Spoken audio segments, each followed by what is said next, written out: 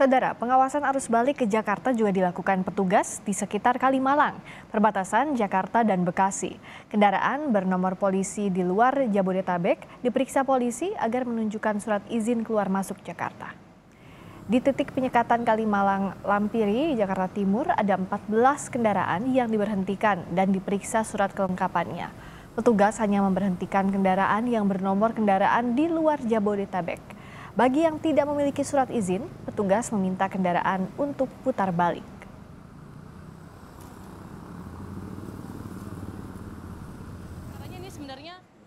Sementara itu kondisi arus lalu lintas di tol Cikampek menuju Jakarta terpantau lancar setelah sempat mengalami kemacetan di kilometer 47 Karawang. Petugas gabungan akhirnya membuka penyekatan agar tidak terjadi kemacetan panjang namun demikian kendaraan akan kembali melewati penyekatan di kilometer 31 Cikarang Barat.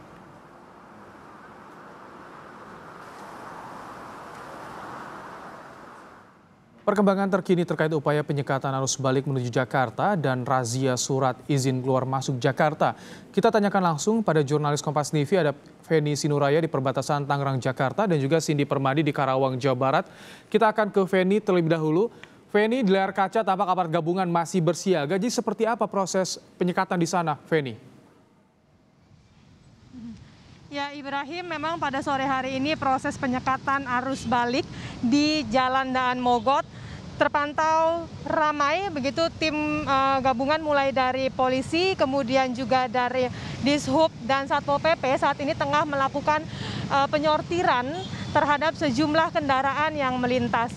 Anda bisa melihat bahwa pada sore hari ini lebih banyak memang adalah jumlah uh, kendaraan roda dua karena jalur ini merupakan jalur alternatif bagi kendaraan roda dua yang berasal atau uh, dari daerah uh, Tangerang, Serang, Banten ini merupakan jalur alternatif bagi roda dua. Sore hari ini penyekatan dilakukan uh, dengan mengidentifikasi sejumlah ciri-ciri fisik kendaraan. Namun Ibrahim untuk lebih tepatnya bagaimana mekanisme penyekatan yang dilakukan oleh pihak kepolisian, penyekatan arus balik kita akan langsung tanyakan kepada Kasat Lantas Jakarta Barat, Bapak Kompol Purwanta yang sudah bergabung bersama kami pada sore hari ini. Selamat sore Bapak. Selamat sore. Bapak, uh, sejauh ini bagaimana pantauannya untuk penyekatan arus balik, Pak? Uh, terima kasih. Khususnya di Kalideres, kami penyekatan yang dari arah Tangerang mengarah Jakarta.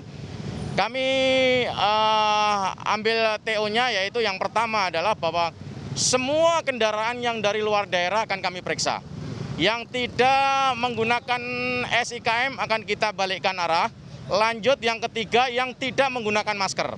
Nah, ada beberapa yang sudah kita lakukan, balik arah maupun pemeriksaan Hasilnya pun sudah kami dapatkan, ada beberapa dari jam 7 tadi, sudah ada 34 motor, lanjut dua mobil, lanjut jam 10 sampai jam 12 tadi ada satu mobil dan beberapa motor yang sudah kami lakukan.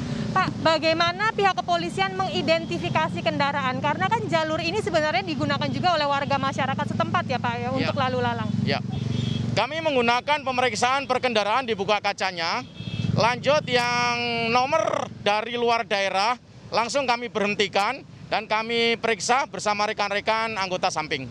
Sehingga kita akan tahu berapa jumlah yang melanggar tidak menggunakan SIKM ataupun kendaraan yang masuk ke Jakarta. Karena ini kita adalah atensi semuanya agar kita menjaga COVID-19 ini tidak eh, naik lagi ratingnya. Demikian terkait soal SIKM, surat izin keluar masuk Pak.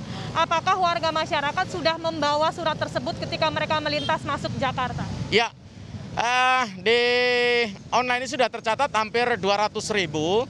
Lanjut, uh, masyarakat juga dihimbau uh, selain yang sudah mengerti agar tahu untuk membuka online, pengisian secara online SIKM yang syaratnya pun cukup mudah Nah, nanti kita di lapangan akan menyesuaikan dengan apa yang sudah dijalankan dan kita menjalankan Pergub nomor 47. Kebanyakan masyarakat sudah tahu belum Pak bahwa mereka harus membawa SIKM ini? Sebagian sudah tahu, sebagian juga beralasan bahwa dia belum tahu, tapi sebenarnya mereka sudah tahu informasi sehingga kita lebih mengedepankan lagi informasi secara inovatif agar seluruh masyarakat mengetahui dan saling menjaga dan kita Pergub 47 ini benar-benar dilaksanakan. Baik. Baik, terima kasih waktunya Pak bersama dengan Kompas TV. Terima, kasih Pak Kompol Purwanta. Saudara itu tadi sedikit uh, soal penyekatan arus balik pada sore hari ini. Jadi kendaraan yang melintas, mereka akan uh, yang diidentifikasi melanggar, mereka akan dibawa ke sebelah kiri begitu akan ditanyakan surat-suratnya termasuk surat izin keluar masuk, kemudian KTP asalnya dan uh, tujuan serta asal pemberangkatan.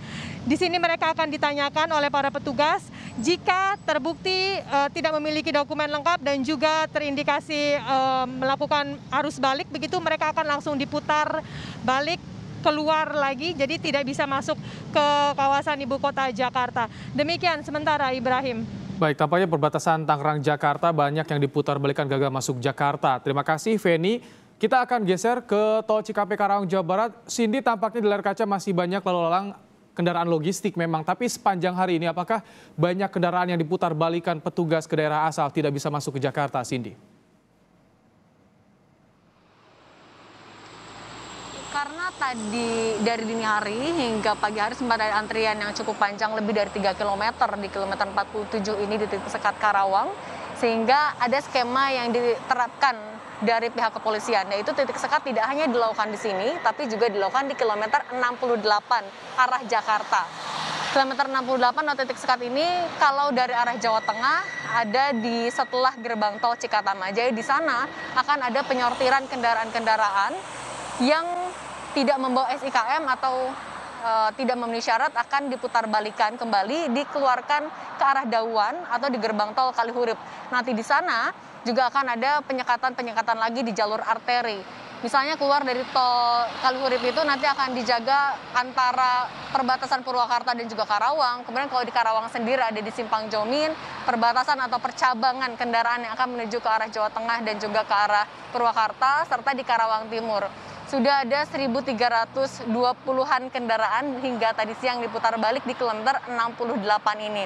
Ini dilakukan untuk mengurai kepadatan yang terjadi di sini di kilometer 47. Jadi ada sekat di awal. Nah nanti juga sudah ada skema jika terjadi kepadatan yang panjang misalnya di dekat gerbang tol Cikatama ini dari Polres Purwakarta akan memberlakukan kendaraan-kendaraan ini, kendaraan angkutan penumpang akan dikeluarkan di gerbang tol Cikopo. Dikeluarkan di sana, kemudian di sana juga ada pos pengamanan dan akan diputar balikan. Tidak boleh melanjutkan perjalanan ke Jakarta. Sementara untuk di kilometer 47 ini, ini menjadi titik sekat kedua yang kemudian harus dilewati. Jadi jika misalnya ada kendaraan-kendaraan yang masih lolos, di sini akan ada pemeriksaan kembali. Meskipun kalau pantauan kami pada sore hari ini kendaraan yang melintas memang sudah lebih banyak kendaraan logistik tapi kendaraan angkutan penumpang atau golongan satu pun masih ada pemeriksaan SIKM.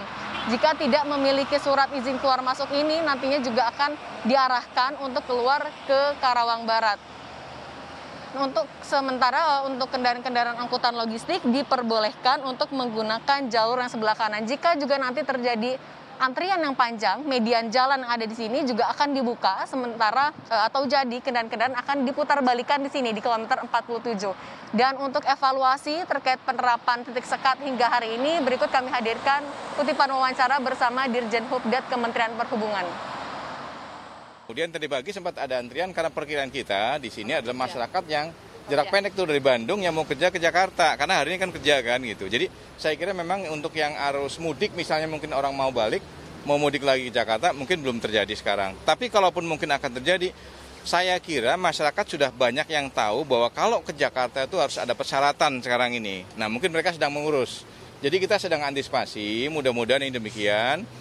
Dan kalau saya lihat tadi hari ini juga sekitar jam berapa nih? Jam 2, saya tadi dari arah Cikampek ke sini juga masih sepi.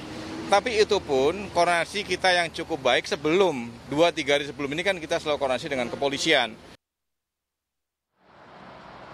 Kalau tadi di kilometer 68 ada lebih dari 1.300 kendaraan yang putar balik, untuk di kilometer 47 ada sekitar 550 eh, kendaraan yang juga diputar balik. Mayoritas masih adalah kendaraan pribadi. Eh, dan artinya pemeriksaan terus dilakukan, penyekatan tidak hanya di ruas tol tapi juga di jalur arteri, Ibrahim. Hampir 2.000 kendaraan sudah diputar balik di jalur tol Cikampek. Kemudian juga di arteri juga dilakukan penyempatan yang begitu berlapis. Terima kasih Cindy untuk laporan Anda. Sebelumnya Feni Sinuraya, terima kasih rekan-rekan untuk laporannya.